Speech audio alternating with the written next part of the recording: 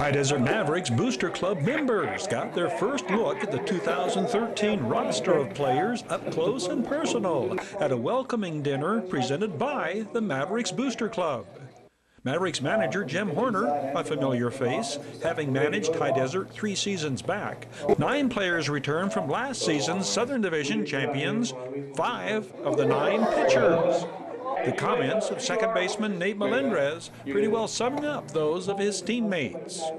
It's great to be a part of a community. I think that's the one thing in minor leagues. We get to be a part of different communities. And obviously, this community takes this team very seriously. And that's something that our team definitely appreciates to the max. New general manager Corey John on hand. All these pictured winners of drawings and gifts donated by local merchants. The Mavericks open on the road in Lancaster.